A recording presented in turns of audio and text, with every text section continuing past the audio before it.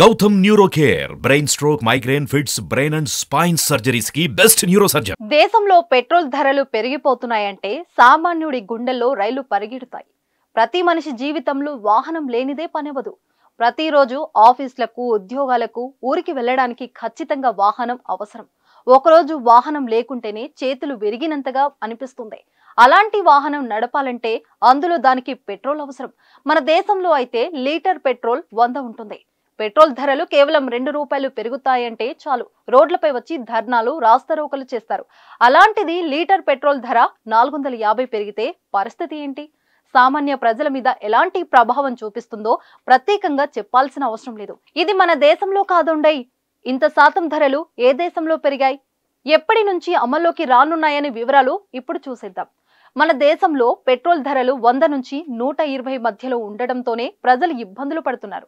పాకిస్తాన్ శ్రీలంకలో పెట్రోల్ ధర రెండు వందల యాభై నుంచి మూడు వందల యాభై వరకు ఉంటాయి. అయితే ఈసారి కరేబియన్ దేశం క్యూబాలో అయితే దాదాపు ఐదు వందల శాతం పెట్రోల్ ధరలు పెరగడంతో ఆ దేశ ప్రజలపై విపరీతమైన భారం పడింది. కరోనా ప్రభావం అమెరికా ఆంక్షలతో క్యూబా ఆర్థిక సంక్షోభంలో పడిపోయింది. ద్రవ్యోల్బణాన్ని తగ్గించుకునేందుకు భారీగా పెట్రోల్ ధరలను పెంచేసింది. క్యూబా కరెన్సీలో ఇరవై ఐదు పేసోలుగా ఉన్న లీటర్ పెట్రోల్ ధర నూట ముప్పై రెండు పేసోలకు పెంచింది. అంటే మన కరెన్సీ ప్రకారం నాలుగు వందల యాభై అన్నమాట. కొత్త ధరలు ఫిబ్రవరి ఒకటి నుంచి అమలుకి వస్తాయని ప్రభుత్వ వర్గాలకు తెలిపాయి. ఇవే కాకుండా మున్ముందు డీజిల్ ధరలతో పాటు ఇతర రకాల ఇంధన ధరలు కూడా పెంచే అవకాశం ఉందని క్యూబా ఆర్థిక మంత్రి ప్రకటించారు. క్యూబా మంత్రి మాట్లాడుతూ రానున్న రోజుల్లో డీజిల్ ఇతర ఇంధన ధరలు కూడా పెరుగుతాయని అన్నారు. నివాస సముదాయాలకు విద్యుత్ ఛార్జీలను కూడా ఇరవై ఐదు శాతం పెంచుతామని చెప్పారు. అంతర్జాతీయ మార్కెట్ల నుంచి చమురు కొనుగోలు చేసేందుకు విదేశీ కరెన్సీని పెంచుకోవాలని యోచిస్తున్నామని తెలిపారు. అందుకోసం కొన్ని పెట్రోల్ బంకుల్లో ఇంధనాన్ని అమెరికా డాలర్లో మాత్రమే కొనుగోలు చేసేలా నిర్ణయం తీసుకున్నామని క్యూబా ఆర్థిక మంత్రి రెగ్యూరో చెప్పారు. దీంతో ప్రజలపై పెనుభారం పడే అవకాశం ఉందని విశ్లేషకులు చెప్తున్నారు.